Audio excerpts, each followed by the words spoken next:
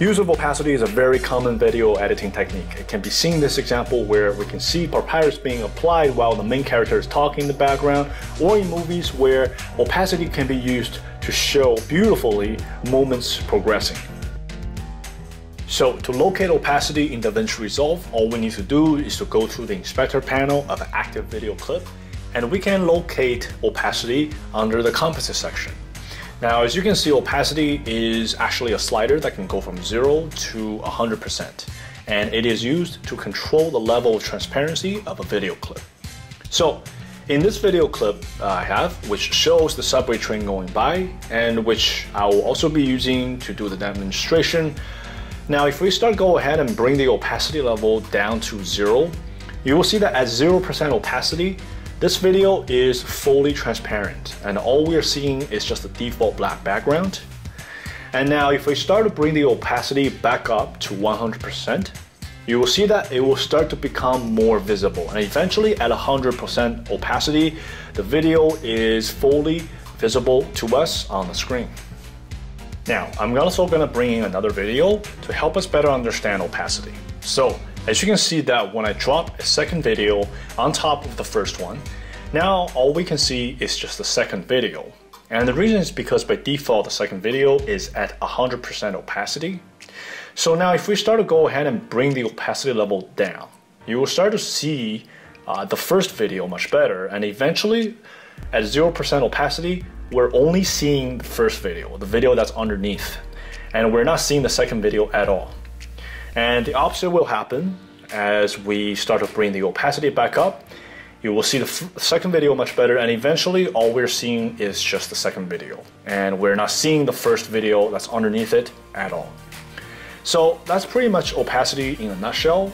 And next, we're gonna look at some of the cool effects we can create using opacity. So for our first example, the first thing we're gonna do is to bring another video into our timeline. We're just gonna simply drop the second video on top of our first video. And then the first thing we're gonna do is to bring the opacity all the way down to zero for our second video.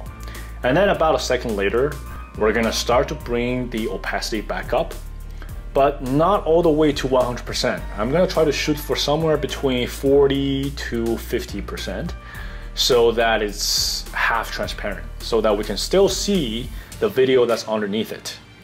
And then we're gonna let this go on for a couple more seconds. And then about a second later, we're just gonna let this fade away completely. So now at this point, we're only seeing our main video. So now if we go ahead and start playing this video, you will see that this effect really resembles the one that we saw earlier in the SNL skit where you know you can see another video playing uh, at the same time uh, but without it completely overshadowing the main video that is playing in the background. Now, to take this effect to the next level, we can give it some more movement. And to do that, the first thing we're gonna do is to turn on transform. And then we're just gonna zoom in on our second video a little bit. And then at this point, we're gonna start to move our second video towards the top left corner there.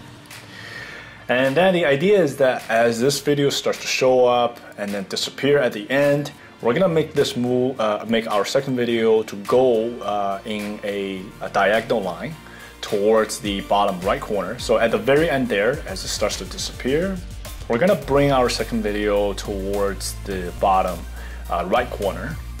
So that looks about right, that looks good.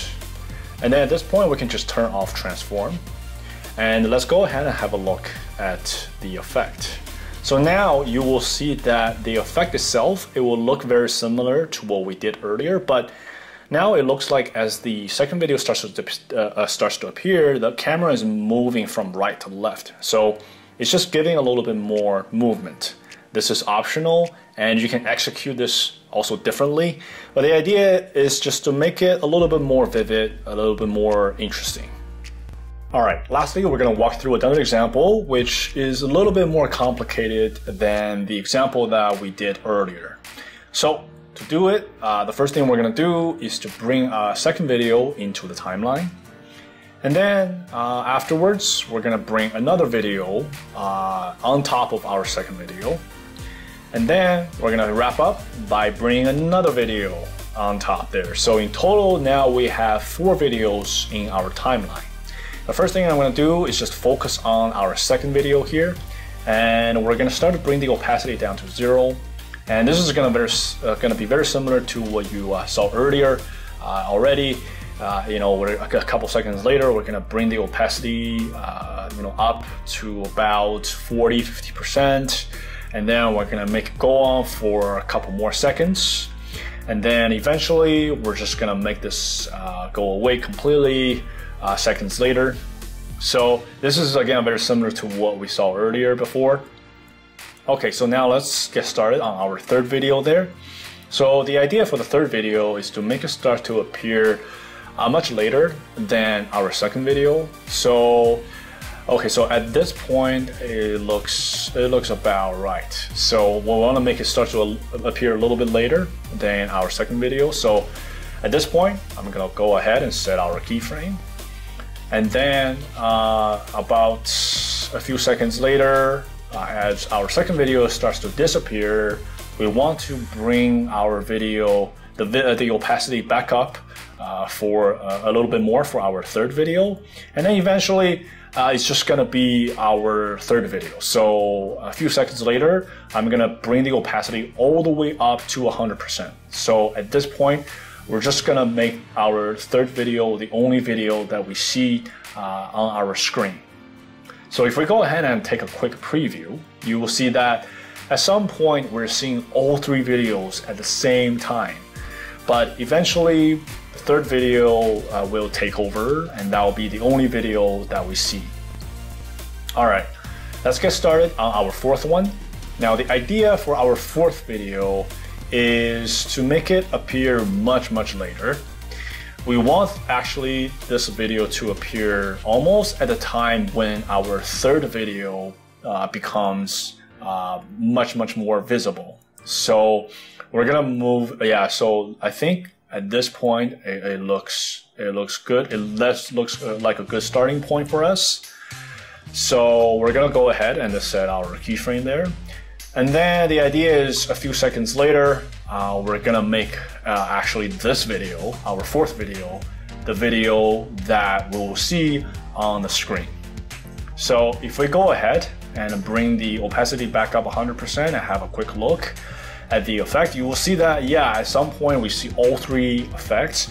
And then as the third one starts to take over, the fourth one will uh, starts to uh, appear slowly actually in the background. And eventually our fourth one will completely take over and it will be the only video that we see on the screen. This looks very much like the example that we saw before in the accountant. So as you see here, yeah, this looks, it's, it's, yes, it's a little bit more complicated, but it's a very, very cool effect to do nonetheless. Alright guys, I hope you enjoyed this tutorial and I will see you next time.